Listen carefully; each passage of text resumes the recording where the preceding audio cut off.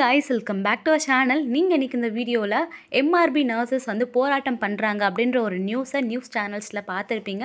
இந்த போராட்டம் வந்து எதுக்காக பண்ணியிருக்காங்க அப்படின்னு பார்த்தீங்கன்னா எம்ஆர்பி எக்ஸாம் எழுதி அதில் பாஸ் பண்ணி அதாவது ரெண்டாயிரத்தி ஆறு டு ரெண்டாயிரத்தி பத்தொம்போதில் எக்ஸாம் எழுதி பாஸ் பண்ணவங்க இன்னுமே வந்து அங்கே வந்து பெர்மனெண்ட் வந்து செய்யலை. ஸோ அவங்க வந்து கவர்மெண்ட்டில் தான் வேலை செய்கிறாங்க பட் அவங்க வந்து பர்மனெண்ட் செய்யலை.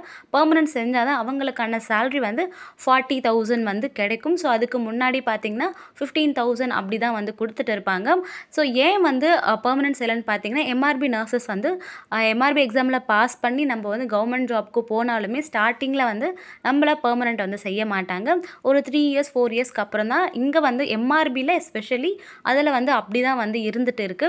ஸோ இப்போ வந்து பார்த்திங்கன்னா அவங்க வந்து போராட்டம் வந்து பண்ணியிருக்காங்க ஸோ எங்களுக்கு வந்து பணி நிரந்தரம் வந்து செய்யணும் அப்படின்ற மாதிரி. ஓகே இதுக்கு வந்து தமிழ்நாடு கவர்மெண்ட் கிட்ட இருந்து என்ன ரிப்ளை வந்துச்சுன்னு பார்த்தீங்கன்னா இப்போதைக்கு இருக்கிறது இரநூத்தி பத்து வேக்கண்ட் தான் வந்து இருக்கும் இதுக்கப்புறம் நிறைய நர்சஸ் வந்து ஓய்வு வந்து பெறுவாங்க. ஸோ அந்த டைமில் நாங்கள் வந்து கண்டிப்பாக அடுத்த வருஷத்துக்குள்ளே ஐயாயிரம் வேகன்சியை வந்து ஃபில் பண்ணிடுவோம்.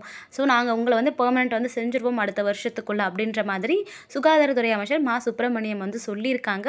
ஸோ இதுதான் வந்து ஓவராலாக நடந்த போராட்டத்துக்கான ஒரு ரிப்ளை வந்து இதுதான் கவர்மெண்ட் சைட்லேருந்து வந்தது. இதே போல் நர்சிங் ரிலேட்டடான எல்லா இன்ஃபர்மேஷன்ஸுமே நம்ம சேனலில் ரெகுலராக போட்டுட்டு வரும். நீங்கள் இதெல்லாம் ரெகுலராக தெரிஞ்சுக்கணும்னா நீங்கள் நம்மளோட சேனலை மறக்காமல் சப்ஸ்கிரைப் பண்ணுங்கள் ப்ளஸ் உங்களுக்கு ஏதாச்சும் டவுட் இருந்தாலுமே கீழே எனக்கு கமெண்ட் பண்ணுங்கள் நான் உங்களுக்கு ரிப்ளை பண்ணுறேன்